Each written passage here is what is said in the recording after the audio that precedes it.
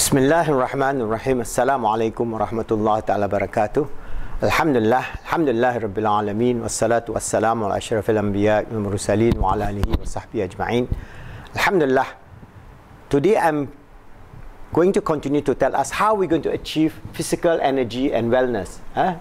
In the holistic way of life, remember our framework for being achievers in life for you all, the young people of Islam, the transforming generation, Always remember this little framework and every day think about it and how you can contribute it, contribute to develop yourself, develop the ummah, and develop this world in a holistic manner and be the transforming generation and be achievers in life to make yourself good, to help others to be good, to make this world good.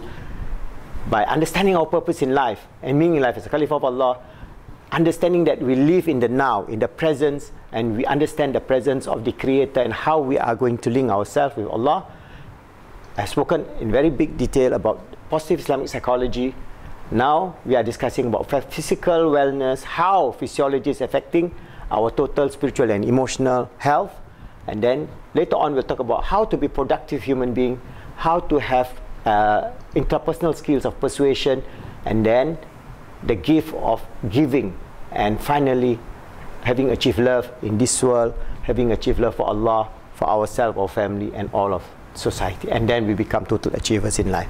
So, about this physical energy, yeah, I've spoken to you just before about this whole idea of the junk food civilization all kind of processed food all kind of junk food that you see today all kind of fast food that is going to destroy the health of the majority of human beings in this life that means for example if we take the japanese people they were very healthy people but now when they take this junk food culture they are also dying having all kind of problems and all, all kind of disease uh, they have the same problem even in china they have a very good Chinese cooking system, which is very natural, but now when they go into this junk food, fast food, processed food culture, they are also destroying themselves. So it's, it's a worldwide global phenomena that we Muslims must be able to then try to bring the ummah to go back to the natural way of life. So what is the natural way of life? There are many, many tips that inshallah uh, I can give you, but let's start with these simple tips of changing yourself and changing your diet. For example, if you're obese,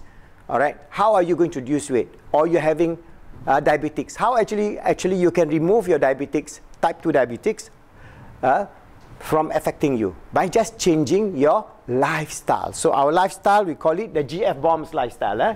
the gf bomb lifestyle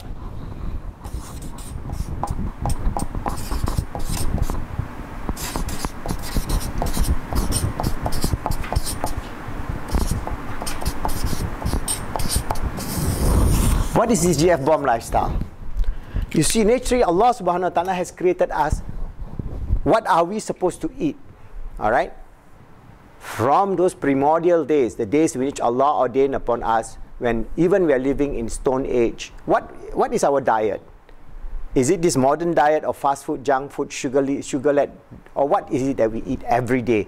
Uh, say 200,000 years ago. Alright? And we look at all their diet, we look at the tools as found during the Stone Age or the early Bronze Age uh, or uh, the early Iron Age and so on. You can see that the diet of human beings is basically based on this. What is what are these? First with greens. We always ravage and find herbs, vegetables, roots. So we are actually based on greens. That's why our teeth, we do not have, all right, huge incisors, huh? huge one, fangs to, to claw an animal, to claw, to claw meat, but we have more of molars. All right, so our molar system is more to grind. So to grind what? To grind vegetables, to grind grains, uh, to grind roots. So everything that we have, the nutrient that Allah subhanahu wa ta'ala has endowed upon us, is available from the greens that you can find throughout the world. Every, every temperature zone have different kind of greens, but today we can have many, many greens for many part of the world, which alhamdulillah is very good. We can have lettuce, for example, and we even can plant it in the tropics uh, by using greenhouse technique, uh, hydroponics, and so many, many things that you can do using solar energy, temperature control. There's so many technology. Actually, technology is very, very good if we can use it for the purpose of enhancing our health. So start your diet with taking greens. So every day your, your diet start with eating uh, potato chips and french fries, then you're asking for trouble. What green did you have today? All right? What kind of vegetables that you eat today? There's so many, the whole range, the whole spectrum of the rainbow range, the rainbow range of all rainbow range. You have this, the whole rainbow range of greens. We call it greens because we just say green, but we have uh, red tomato, we have uh, blue uh, brinjals and so on. So many colors of all the various, because these are antioxidants that will then bring about uh, the whole host of your digestive system, your microbiome within your guts. It thrives on all these things based on the fibers, the celluloids, the minerals, the vitamins, all laden in the green. So we start with the green. All right? So have a very heavy base of our life on green. Then we also have fruits. So there's so many kind of fruits. Again, the whole spectrum of colors of fruits. From all right, apples, pears, to grapes, to berries, to whatever that we have. Okay? So we take this. Next, if we have this, this, this, we have the greens, we have the fruits, we have the legumes, actually it is already quite balanced diet already. So we take beans. What kind of beans? We have all kind of beans. And the beans can be processed. For example, in the South Asia, we process soya bean into tempeh. It's fermented, and it's better than meat. 10 times better in terms of protein content, 100 times better than beef. And it is free from chemicals, free from many, many of this nonsense, uh, antibiotics and so on that you find in modern beef.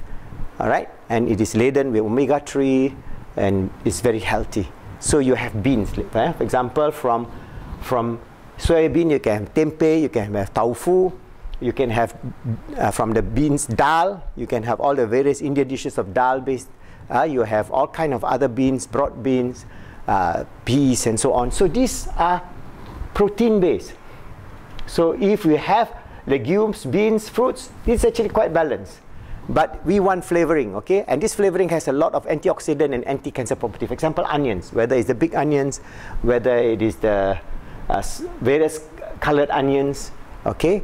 Uh, we have garlic, all these are onion family. We can take that and we can have the joy, the flavoring. Uh, and it is so wonderful. You can eat it fresh, you can eat it cooked with curry or with whatever it is. Then we have mushrooms. Allah subhanahu wa ta'ala gave us thousands of species of mushroom. 99% of them are toxic.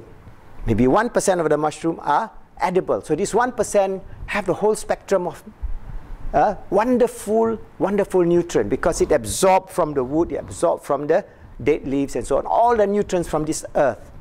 Okay, so we have this mushrooms like maitake, shintake, enoki, and all of them have different, different oyster mushrooms, have the different, different flavoring, different taste, different nutrients that we can eat without worry of toxicity and we can get good health. It has a lot of antioxidant, a lot of anti-cancer properties. So if you are having cancer, it is best to have more of mushroom food, for example, like shiitake and maitake. All right. Then we talk about berries. These are antioxidant type of berries, huh? whether it's blueberries, cranberries, uh, even, for example, we can have this uh, pomegranate. All right. We can all these are antioxidant. We can eat as it is or make it into juices. And last but not least is we have spices. This is the spice of life. We talk about spices, all the curries, huh? whether it's curcumin, whether it is uh, the various types of many, many spices that you see in the spice shop. They're mixed into curry powder or curcumin powder or whatever curry uh, spices combination. There are hundreds of spices combination. That is wonderful. And you can use it as a cooking material to cook all these things. And herbs, especially in the tropical, we have hundreds of species of herbs that have anti-cancer property, anti-diabetic property, anti so many of these diseases that you have, we're just consuming those herbs. And some of them you can make into tea, infusion, and so many things. So you can have a wonderful, healthy, wealthy life by just having this. But here you see I'm not talking about, then where is my meat? Where is my fish? Where is my chicken? You say, no, I can't live without meat. All right? Yes, you can. So you can have this GF bomb to be 90% of your diet. So this GF bomb will become 90%, 90%, and then the 10% we just take what whether we want, whether, uh, whether it's meat, whether it's fish, whether it's eggs, uh, etc. So we can chicken, especially chicken, meat, fish, eggs, etc. So the 10% you can still go into the animal protein. 90% is all natural, vegetable, fruits and herbs. 10% is this chicken. But our lifestyle is the other way around. For example, you go to a restaurant, you have? Chunk and chunk of chicken or meat made into burgers or patties or just uh, you go to the, all this chicken restaurant what you have? Fried in deep fried with oil that is so toxic and you're eating that. What you get? You get body inflammation. When your body is inflamed you get stress. When you get stress you get all the inflammation of the body the joints arthritis. You get brain your brain also get inflamed, you cannot think well.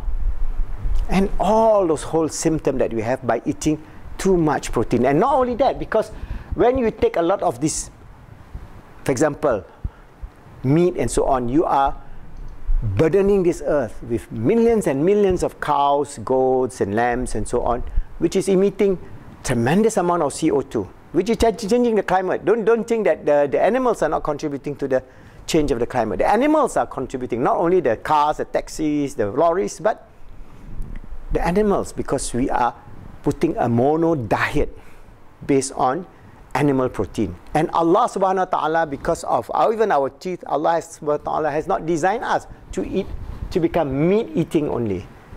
We can have all these things plus milk, dairy, because some culture they have dairy, for example, like the Zulus and so on, they are basically uh, even the Indians, they, they take a lot of dairy products, milk uh, and milk byproduct like yogurt and so on. So all these things are good, good products that if we can include in our life, inshallah, I can give you even give the formula. For example, you have type 2 diabetics. Uh, you have a very high reading of your blood sugar, uh, 22, 28, 30. It's shooting up to the sky. How is it to bring down to 10 and below? It's quite easy. All right? Maybe you fast, the Islamic way of fasting, and when you break fast, just break up with this little thing G, F, and B. Onions, mushroom, mushroom, uh, green fruits, beans, onion, mushrooms, berries, and spices and herbs. So you make, you have so many recipe book, you just try to go around, forget about all these things. Do it for one week. You see what happened. You only not only you lose weight, your blood sugar will go back to normal, and you restrict your calorie intake. What, what are calorie intake you got to restrict? First and foremost, you got to cut off. You got to cut off. What you got to cut off? One is sugar and sugary food, cakes, uh, soft drinks, whatever. Uh, all the sugar and sugary. This is the first thing you must cut off. Secondly, you cut off all the junk food junk food, all those crispies, all those uh, you know in the cans coming, all kind of crisps, all of, uh, all those nonsense. Cut out junk food. All right. Number three, reduce your calorie intake. Huh? Just cut down your food because if you eat all these things, example, you make some legume and vegetable soup, you can't go hungry because it takes about seven hours to process in your guts. And your guts bacteria, the, uh, your biome in your guts also have all the time to actually munch on it. All the, you have more than two kilo worth of bacteria in your guts. This bacteria eats all those things and breaks down so nicely and neatly that all parts of your body, all the mineral, all the vitamin, all the nutrients even the carbohydrate that is taken off very slowly, there's no spike in your blood sugar level, and inshallah, you would then be free from diabetics. And it's as easy as that. I can give you a, say, a 30 days challenge. You try. maybe if you are on insulin, you can even get rid of the insulin. But remember, when you do all these things, you must make sure you test, get a physician to help you out. If the physician doesn't know this natural method of how to go about with it, buy some books on it, and then you follow. Very, very simple. And I can tell you it is so fantastic. You can see the result within two or three days. Start fasting, eat small quantity, make sure you're not hungry, or you can have intermittent.